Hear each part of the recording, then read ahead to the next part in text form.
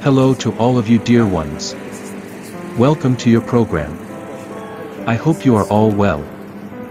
A note about the fixed focus system I should say. And this is important for those who want to build this system. In this system, we put a pipe in the center and the focus is at the top. The focus is very hot and I can feel it with my hand. The position of the focus with this situation forces us to cut the dish to the size of the base of the focus and to the center of the dish. And in this case, we have no choice but to cut the dish.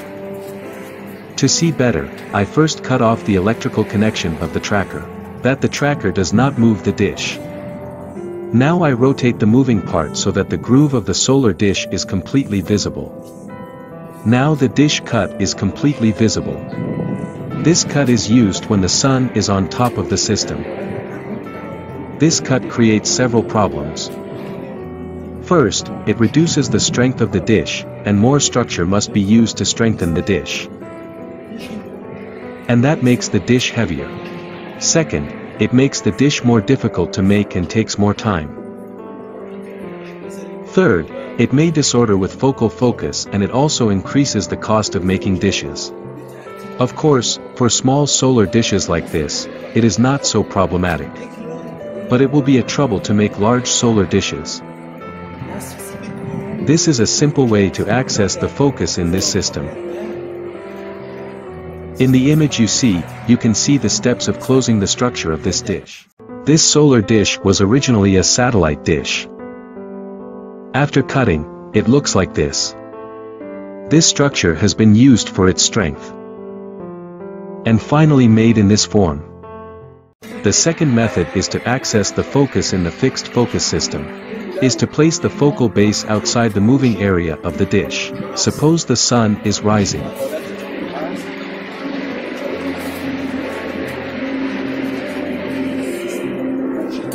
That is, the dish is placed on this side. Now the dish is almost in front of the sunrise. We mark this point. And now, by moving the moving part, we place the dish in front of the sunset. Now the dish is almost in front of the sunset. Now this space can be the base of the focus. That is, there is a free space. Now I put a tube here as the base of the focus.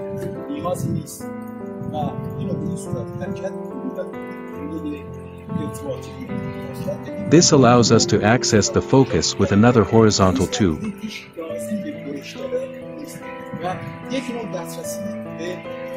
So far we have two ways to access the focus.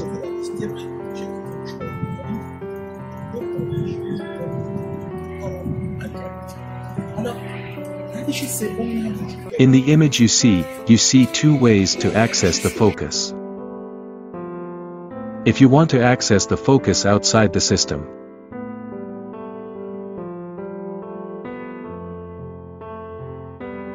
The height of the base of the focus should not interfere with the movement of the dish.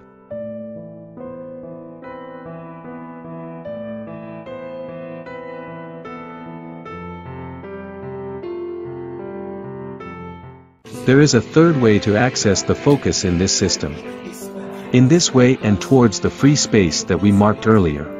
At the base of the center, we make a depression the size of the dish moving inwards as you can see in the figure.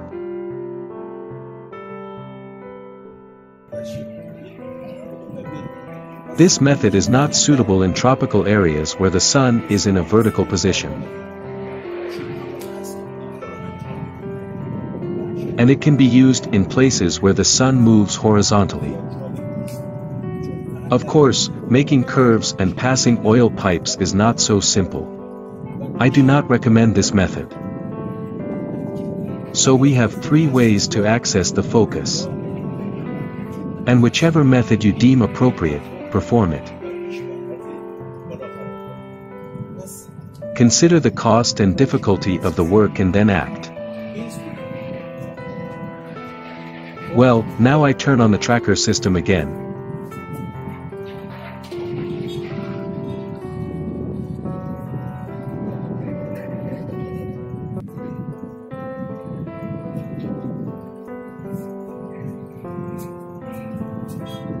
Of course, in cold regions, the solar dish is not placed horizontally. And it needs less gap. In the tropics, the focus can be accessed in only two ways. One direct method like this system. And another access from outside the system. In this case, the focal base is outside the range of the moving part of the system. And also, we install the focal base in a place where the dish has the lowest height during the day and the height of the focal base does not hit the dish.